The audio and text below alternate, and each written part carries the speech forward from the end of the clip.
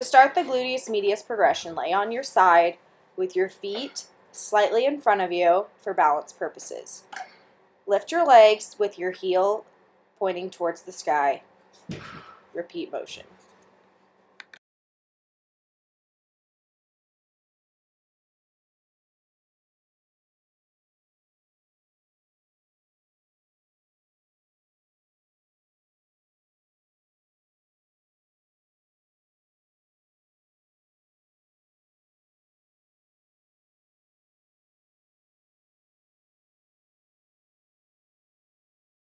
The next step in the gluteus medius progression is to make small circles with your feet.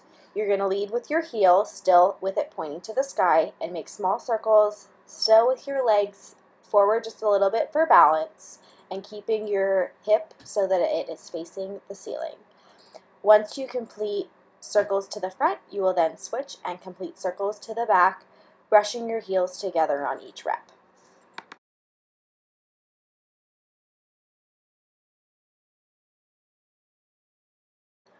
the next part of the gluteus medius progression, you're going to have your top leg continually lifted during the entire exercise with your heel pointed to the sky. You're going to lift your bottom leg so that it meets up with your top leg, still with your legs in front of you just a little bit for stability.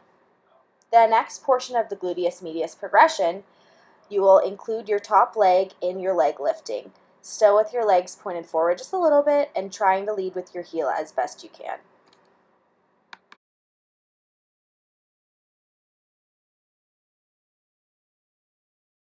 For the next portion of the gluteus medius progression, you're going to have your legs pointed at 45 degrees and then squeezing your glutes, lifting your knees off the ground, continually holding that 45 degrees with your knees the entire time. The next portion of your progression, you're going to keep your knees bent at that 45 degree angle.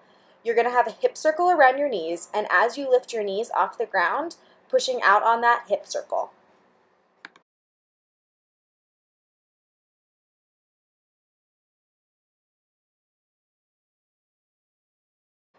For your last part of the gluteus medius progression, you're going to put a fitness circle between your legs so that as you raise your legs in that 90 degree angle, the same way you did for the last two exercises, you're squeezing in on the fitness circle.